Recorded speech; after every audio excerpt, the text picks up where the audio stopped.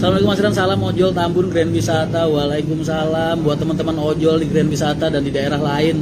Tetap semangat mencari rezeki walaupun rezeki semakin sulit buat dicari.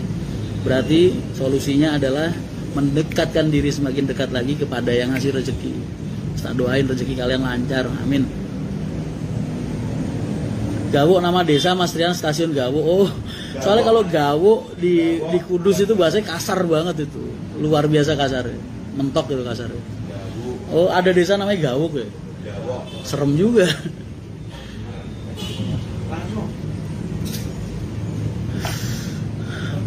Mas saran aja buat tim Hercules dari barat hilangkan sistem transit sudah saya kemarin sudah rapat sama teman-teman di sini dan sedang dalam penerapan. Jadi nanti jangan komplain dan jangan tanya kalau kalian beli di salah satu titik agen dan agen itu nggak bisa melayani jurusan yang kalian tuju.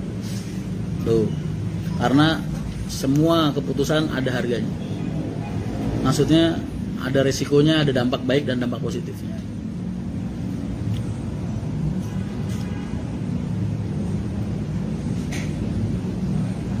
Salma Aulia Putri, kamu salah paham dengan maksud TikTok. Yang dimasuk putar balik itu bukan dari sini ke Jakarta, Jakarta balik lagi ke sini, bukan. Itu belum dikatakan putar balik.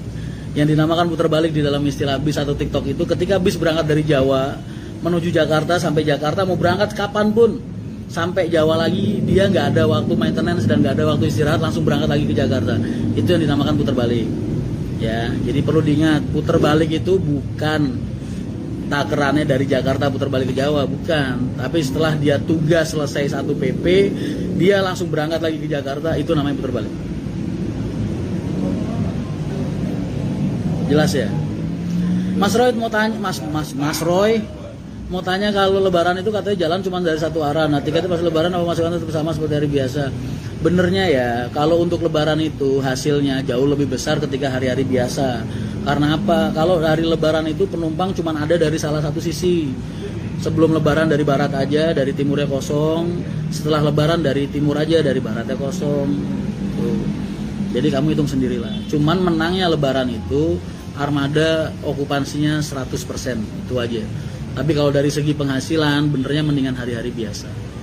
Makanya kalian jangan komplain kalau harga tiket lebaran itu selalu lebih mahal, lebih tinggi daripada hari-hari biasa kan kita juga butuh nutup operasional